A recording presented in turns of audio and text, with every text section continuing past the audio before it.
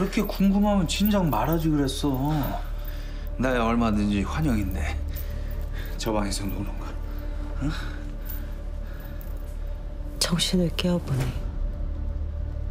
그 사람 그 악마가 날 끌고 들어간 방이었어요. 거기서 나를 마치 짐승 대하듯 나 사람이 아니었어요.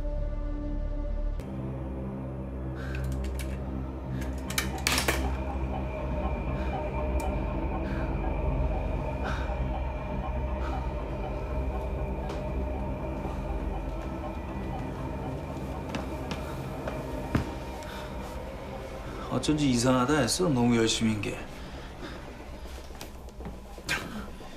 너 뭐야? 저 방에는 왜 들어가려고 한 건데? 어?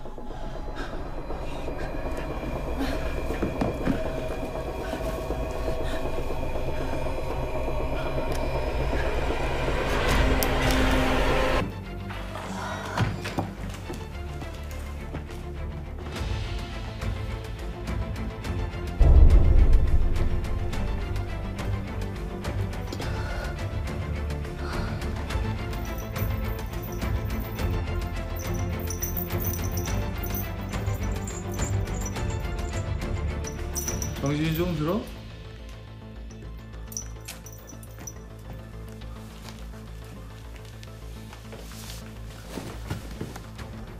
생각해보니까 차변이 널 소개한 거잖아. 차변은 널 왜 이 자리에 꽂은 거고. 넌 대체 여기서 뭘 하려는 걸까? 궁금한 게 많긴 한데 우선은 도둑 고양이 버릇부터 고쳐놔야겠어.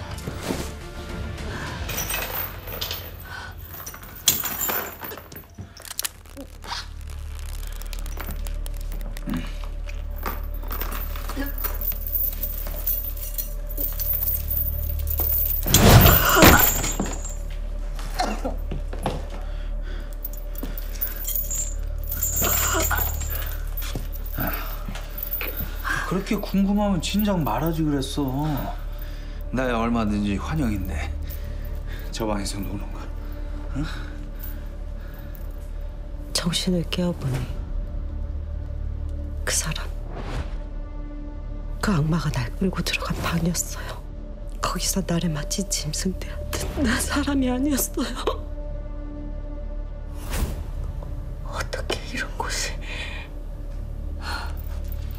생각해서 좋은 건 놔주려고 했는데 너만 괜찮다면 맨정신도 나쁘지 않지.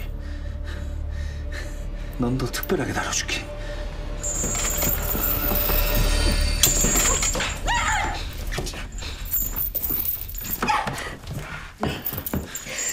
이거 놓지 못해?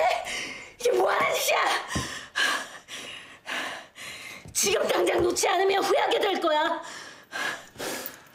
미리 힘 빼지 마. 지금 이렇게 힘 다 빼면 저 안에서 어떻게 놀려 그래? 지금 이게 바로 자신의 여비소를 성폭행하고도 자신의 돈과 권력을 이용해 피해자를 가해자로 만든 송승호 이 사장의 성폭행 사건 현장입니다. 이게 바로 여러분이 알고 계시던 모한 미래 복지재단의 송승호 이 사장의 민낯입니다.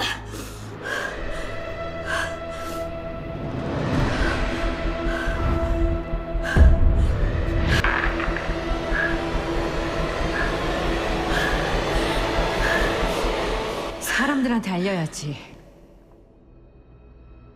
그 추악하고 더러운 민낯.